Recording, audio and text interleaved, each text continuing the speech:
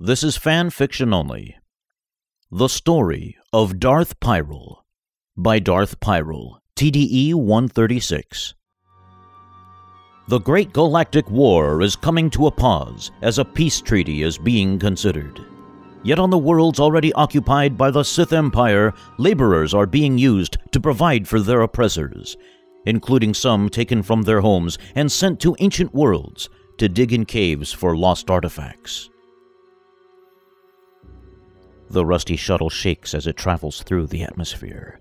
This is such an oppressive planet. The transport is just as dirty, dingy, and beat up as the whole place. Everything is dry and red, just like the rusted edges crumbling away from the shuttle.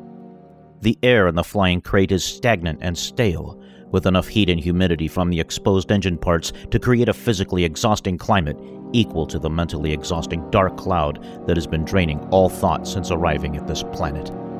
After maybe a week in some cave digging for artifacts in the old red dirt, the fight with the other miner over what I found got me loaded on this shuttle, but I have no real concept of time or how long I've been here, since I cannot keep a grasp on my own thoughts for more than 30 seconds.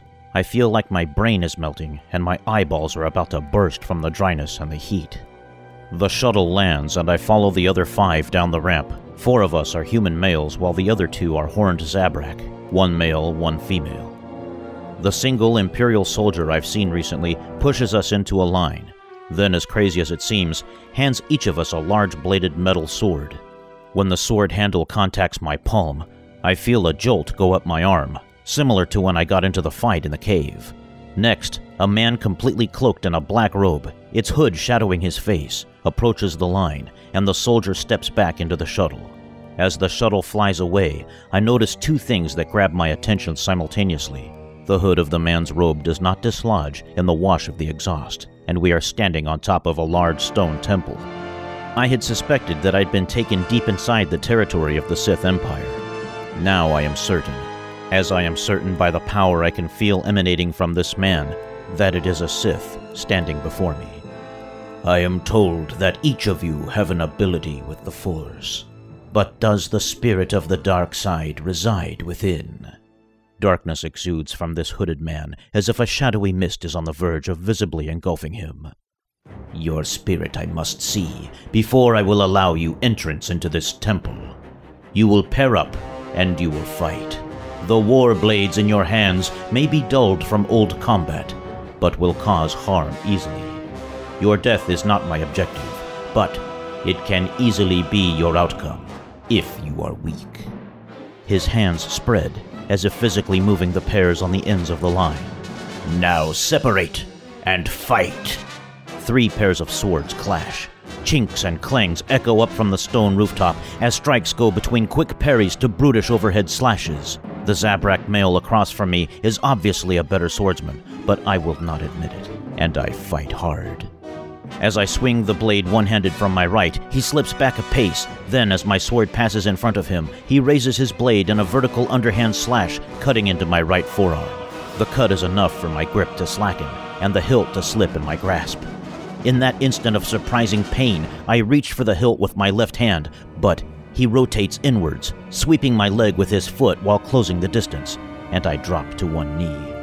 With a devilish grin on his horned face, he raises his blade high in the air and with both hands pulls the sword down in a powerful strike, intent to cleave me in two.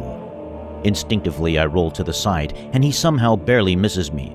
But it is obvious to me this arrogant man meant to kill me, and the thought occurs that he was toying with me while we'd been dueling. I can see fire in his eyes, but the fire in mine burns brighter. As he swings his blade high again, I charge in. I don't grab his sword arm. I don't feel a need to as my left hand forms talons, latching onto his throat, and my right latches onto his left collarbone. A burning, tearing sensation rips at my fingers as our faces come an inch from colliding. The world is red, except at the center of the vortex. I stare into his eyes.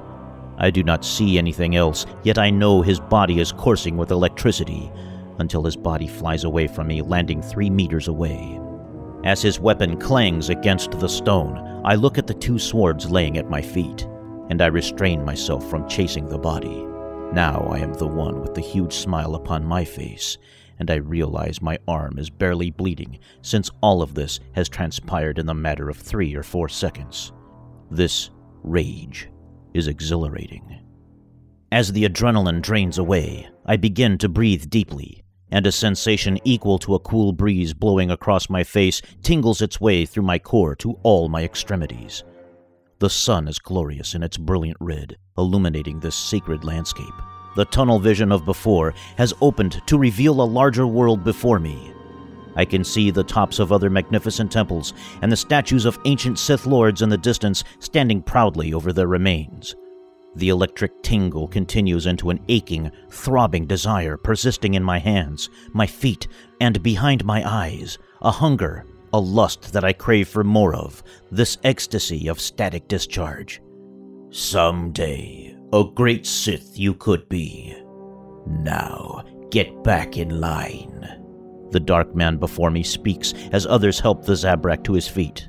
What shall the Sith call you? I pause but a few seconds as a haunting voice speaks as if on the inside of my eardrum. I am Pyral Shadow. He nods once, then steps back to the center of the stone rooftop. All of you will spend the night in the common room below us. Several acolytes will prepare you, as tomorrow you will be taken to begin your training. Strength you will need, as you have many chains to break.